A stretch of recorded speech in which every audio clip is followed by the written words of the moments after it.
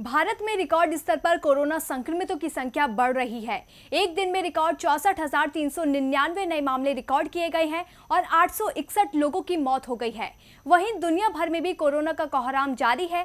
तो अपनी इस रिपोर्ट में हम आपको बताएँगे कि देश में कोरोना ने कितनी तबाही मचाई है।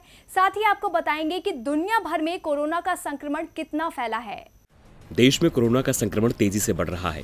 देश में कुल संक्रमितों की संख्या 21 लाख के पार पहुँच गई है। स्वास्थ्य मंत्रालय के ताज़ा आंकड़ों के मुताबिक, देश में अब तक इक्कीस लाख तिरपन हज़ार ग्यारह लोग कोरोना से संक्रमित हो चुके हैं। इनमें से तिरालीस हज़ार तीन सौ उन्यासी लोगों की मौत हो चुकी है, जबकि चौदह लाख अस्सी हज़ार आठ सौ चौरासी लोग ठीक हुए हैं। पिछले 24 घंटे में कोरोना वायरस के चौसठ हज़ार तीन सौ निन्यानवे नए मामले सामने आए और आठ सौ इकसठ मौतें हुई हैं। अब नज़र डालते हैं देश में प्रभावित राज्यों पर।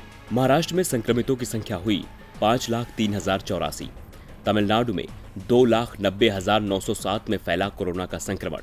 आंध्र प्रदेश में संक्रमितों की संख्या हुई दो लाख सत्रह हज़ार चालीस। कर्नाटक में संक्रमितों का आंकड़ा हुआ एक लाख बहत्तर हज़ार एक सौ दो। दिल्ली में संक्रमितों की संख्या हुई एक लाख चौवालीस हज़ार एक सौ सत्ताईस। इन आंकड़ों के मुताबिक देश में इस वक्त छह लाख अट्ठाईस हज़ार सात सौ सैतालीस कोरोना के एक्टिव केस हैं। सबसे ज़्यादा एक्टिव केस महाराष्ट्र में है। महाराष्ट्र में एक लाख से ज़्यादा संक्रमितों का अस्पताल में इलाज चल रहा है। इसके बाद दूसरे नंबर पर तमिलनाडु, तीसरे नंबर पर दिल्ली, चौथे नंबर पर गुजरात और पाँचवें नंबर पर पश्चिम बंगाल है। इन पाँच राज्यों में सबसे ज़्यादा एक्टिव केस हैं। एक्टिव केस मामले में दुनिया में भारत का चौथा स्थान है। वर्ल्डोमीटर के मुताबिक कोरोना से सबसे ज़्यादा प्रभावित देशों की लिस्ट में अमेरिका सबसे ऊपर है।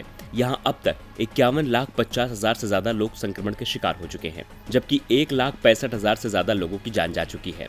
अमेरिका में पिछले 24 घंटे में चौवन हज़ार से ज़्यादा नए केस सामने आए हैं, जबकि नौ सौ छिहत्तर लोगों की मौत हुई है। वहीं ब्राज़ील में भी कोरोना का कहर बरकरार है। ब्राज़ील में 24 घंटे में पैंसठ हज़ार नए मामले सामने आए हैं। डीबी लाइव की रिपोर्ट।